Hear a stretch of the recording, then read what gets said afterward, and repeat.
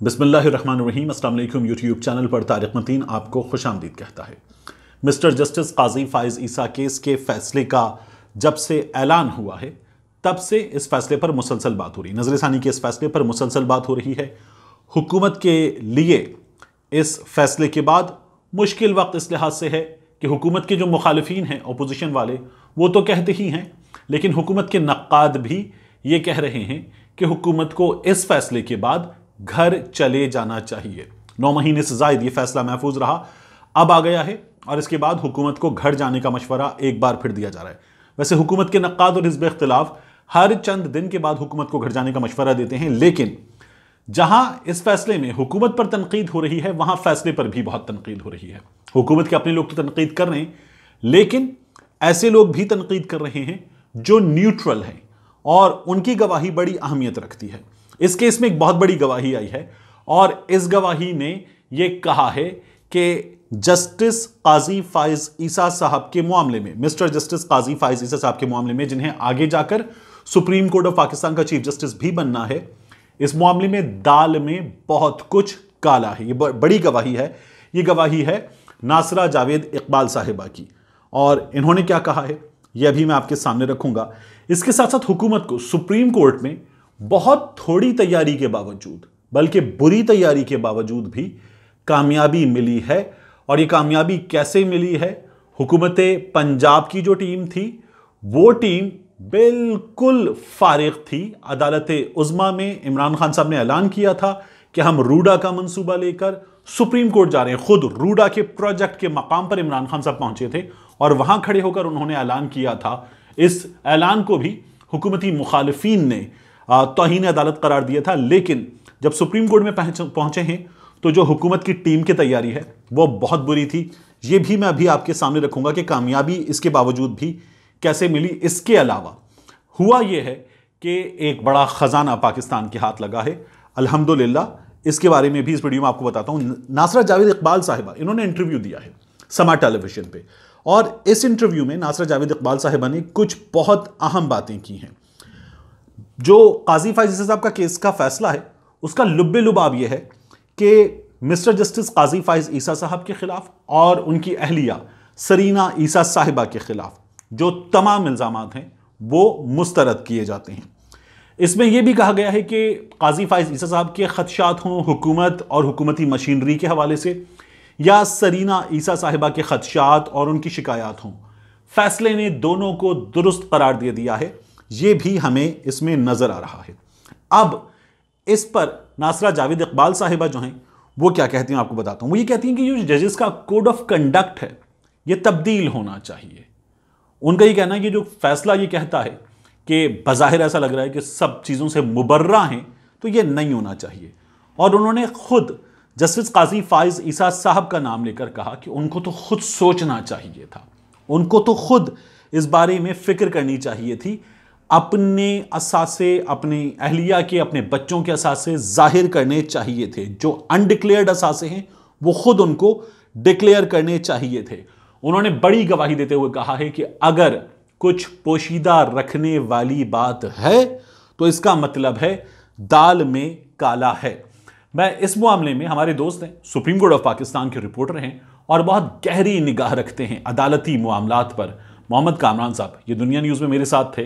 फिर उसके बाद मुख्तलिफ़ चैनल से वाबस्ता रहे हैं। इन्होंने नवाए वक्त में कॉलम लिखा है। मैं इस कॉलम में से कुछ चीज़ें आपके सामने ज़रूर रखना चाहूँगा। तफसीली फैसले में अक्सरियती जज साहिबान ने जस्टिस काजी फाइज ईसा की दयानतदारी और नेक नामी की तारीफ़ भी की है।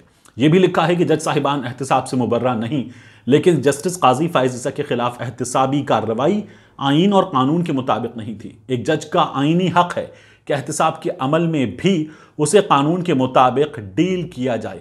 अहम बात यह है कि अदालत ने अपने फैसले में बावर कराया कि जजों का एहतसाब सिर्फ़ आर्टिकल 209 के तहत सुप्रीम जुडिशियल काउंसिल ही कर सकती है सिर्फ़ सुप्रीम जुडिशियल काउंसिल कर सकती है।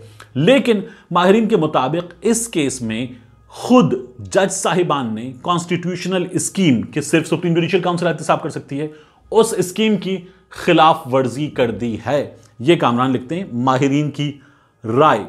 और वो ये भी कहते हैं कि सुप्रीम जुडिशियल काउंसिल का दायरा इख्तियार खुद जज साहिबान ने संभाल लिया और यूँ एक आईनी इदारा, जो कि सुप्रीम जुडिशियल काउंसिल है आइन के तहत बनी है, उसको अपने दायरे अख्तियार से महरूम कर दिया गया। यह है इस मामले में माहरीन कानून की राय, जो मुझे, मेरे लिए बहुत ज़रूरी था कि मैं आपके सामने रखूँ। इसके अलावा काजी फाइज ईसा साहब जो हैं, उन्होंने एक बार फिर अपने एक अमल से एक और अजीब सी चीज़ इस वक्त मीडिया के सुप्रीम कोर्ट ऑफ़ पाकिस्तान को रिपोर्ट करने वाले रिपोर्टर्स के सामने रख दी है। मिस्टर जस्टिस गुलजार अहमद हमारे चीफ जस्टिस साहब उनका आखिरी दिन उनके एजाज में तकरीब थी। काजी फाइज ईसा साहब उस तकरीब में शरीक नहीं हुए। ये अंदर इख्तलाफात का मामला है। काजी फाइज ईसा साहब को कोई आ, किसी रिफ्ट के नतीजे में उन्होंने शिरकत नहीं की। क्या है? लेकिन एक चीफ जस्टिस जब अपनी अपनी मुद्दत मुकम्मल करके जा रहे हैं तो आने वाला चीफ जस्टिस, जो कुछ अरसे के बाद इसी कुर्सी पर बरजमान होगा, वो हमें ये दिखा रहा है कि वो इस तकरीब में शरीक नहीं हो रहा। बहुत अजीब सी चीज़ है, जस्टिस काजी फाइज ईसा साहब की जानब से माहरीन ये भी कहते हैं। इसके अलावा मैं आपको बताऊँ हुकूमत को सुप्रीम कोर्ट में जो रूडा का मामला है राबी अर्बन डेवलपमेंट अथॉरिटी, जो एक नया शहर हुकूमत बसाने जा रही है, इसके मामले में कामयाबी हुई है और स्टे मिल गया है। हाईकोर्ट ने, लाहौर हाईकोर्ट ने उड़ा दिया था और यह मंसूबा जो था, इस पर अमल नहीं हो सकता, आगे नहीं बढ़ सकते। लाहौर हाईकोर्ट ने कहा था, अब सुप्रीम कोर्ट में गए वजी अजम साहब ने ऐलान किया था। तो अहमद उवैद साहब, ये पीटीआई के रहनुमा भी हैं और इसके साथ साथ ये एडवोकेट जनरल पंजाब भी हैं।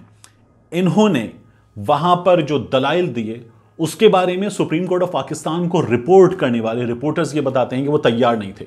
बार बार उनके कान में आकर, छह बार कम अज कम, जो उनके मुआवनीन थे, उन्होंने बताया कि नहीं, सर, ये ऐसे नहीं है, ऐसा है। आप ये अदालत को गलत बता रहे हैं। सुप्रीम कोर्ट के जजेस जो हैं, वो बरहम हो गए कि आप तैयारी करके नहीं आए। आप जजेस से जो है, वो गलत बयान ही कर रहे हैं।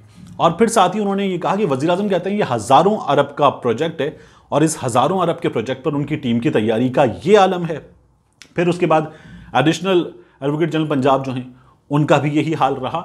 लेकिन इस मौके पर जो रूडा के वकील थे, वो अगर ना होते तो हाल ये होना था कि ये केस वहाँ पर भी, सुप्रीम कोर्ट में भी, वही हाल होता जो लाहौर हाई कोर्ट में हुआ था, और हुकूमत ये केस हार जाती।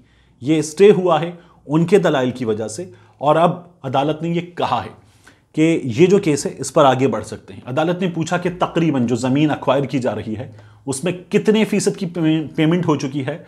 तो अदालत को बताया गया कि तकरीबन पचानवे फ़ीसद ज़मीन की पेमेंट हो चुकी है। अदालत ने कहा, जो ज़मीन अक्वायर कर ली गई है, उस पर काम जारी रखिए। और जहाँ पेमेंट कर दी, उस पर काम जारी रखिए। और साथ ही अदालत को ये भी बताया गया कि जो ज़मीन की कीमत हासिल करने वाले लोग हैं, उनमें शिकायत कुरिंदा कोई नहीं है। मैंने कुछ लोगों से जो इस प्रोजेक्ट पे काम कर रहे हैं मालूम हासिल की ये मेरी अपनी मालूम हैं। उनका ये कहना है कि जो इन्वायरमेंटलिस्ट और ह्यूमन राइट्स वाले आते हैं, ये आते हैं कुछ बिल्डर माफिया से माल खाने के बाद अपोजिशन की शह पाने के बाद, और ये आकर फिर केस लड़ते हैं। वगरना इस केस में जो स्टेक होल्डर्स हैं, उनके इश्यूज़ ना होने के बराबर हैं। तो ये तो इस केस का मामला है। इमरान खान साहब की टीम को चाहिए मजीद तैयारी करे। बहुत बुरी तैयारी थी आज। और ये आज केस हुकूमत हारते हारते बची है। अगर आज नसर साहब ना होते तो ये केस हुकूमत हार गई होती। इसके अलावा मैं आपको बताऊँ, थर में कोयला निकला है। ज़बरदस्त दरियाफ्त है, बड़ी खुशखबरी है। और ये जो कोयला है, ये पाकिस्तान के लिए बहुत बड़ी खबर है। ये खबर क्या है? आपके सामने रख देते हैं। थर ब्लॉक वन साइड पर पाकिस्तानी और चीनी माहरीन ने बाकायदा जश्न मनाया है, क्योंकि यहाँ पर कोयला निकला है और 145 मीटर की खुदाई का काम मुकम्मल होने के बाद ये कोयला निकल आया है।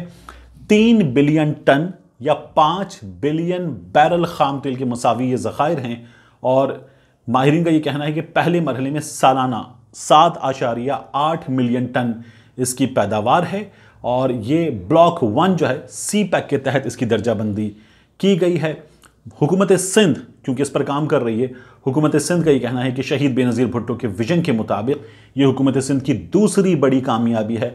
बहरहाल जब मादनी ज़खायर निकलते हैं तो वो मुल्क के होते हैं, मुल्क के लोगों का भला होता है और ये मुल्क की कामयाबी है, जिस पर हुकूमत सिंध भी, मरकज़ी हुकूमत भी और तमाम अहल पाकिस्तान भी मुबारकबाद के मुस्तक हैं।